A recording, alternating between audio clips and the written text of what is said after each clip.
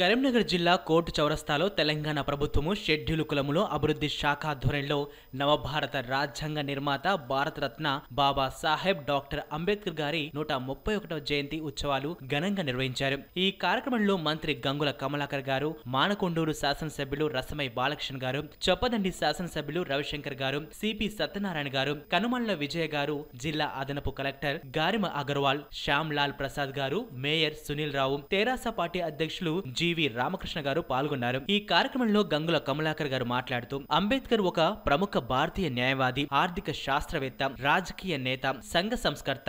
ఇతను అంటరాలితనం కుల నిర్మూలన కోసం ఎంతో కృషి చేశారు. భారతదేశ చరిత్రలో చిరస్మరణీయంగా నిలిచిన నాయకుడు ఇతను చేసిన విశేష కృషికి ఇతని పుట్టినరోజును అంబేద్కర్ జయంతిగా జరుపుకుంటున్నారు అని తెలియజేశారు. ఈ ముగ్గురు పుట్టిన మాసము మనకు ఏప్రిల్ మాసం అదే పవిత్ర మాసం. ఈ ముగ్గురు పుట్టిన మహానుభావులు భారతదేశ గడ్డ మీద పుట్టారు. అందుకే ఈ గడ్డ పవిత్ర గడ్డగా భావిస్తున్నాం.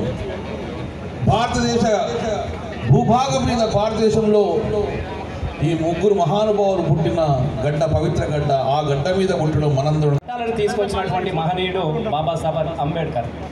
మరి అట్లాంటి మహనీయుని గురించి ఇలా ఏ వేదిక మీద ఉన్నా మొన్న గిదే లొల్లి జగ్జీవరావు లొల్లి కాడ గిదే పుట్టినరోజు.